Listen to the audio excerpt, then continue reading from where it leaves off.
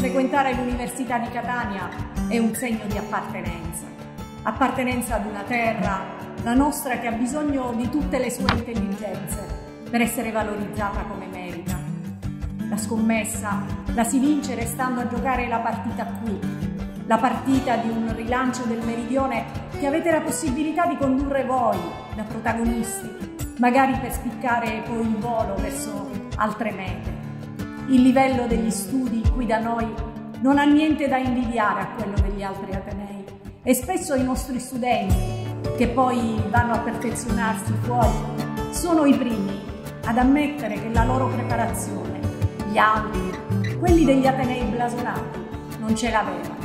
Studiare al Dipartimento di Scienze Umanistiche è una scelta che tutti gli studenti si portano dentro per la, per la vita.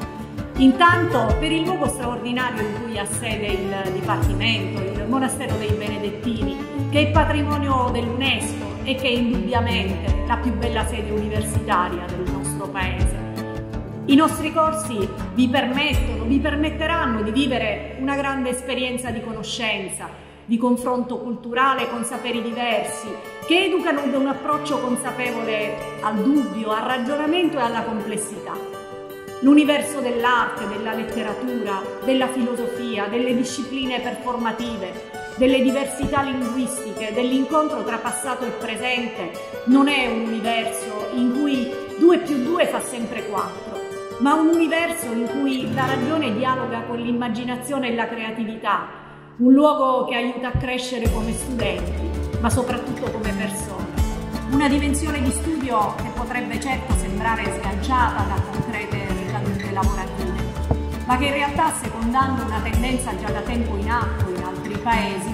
vede una costante crescita di interesse delle aziende del mondo della comunicazione per i laureati in discipline umanistiche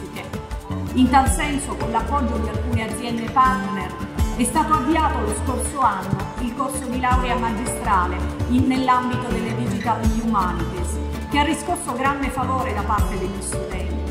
Le nuove professioni umanistiche si affiancano così a quelle più tradizionali per i laureati del nostro Dipartimento, rispecchiando pienamente a livello lavorativo lo spirito di un progetto formativo che dallo studio del passato trae forza per progettare il futuro.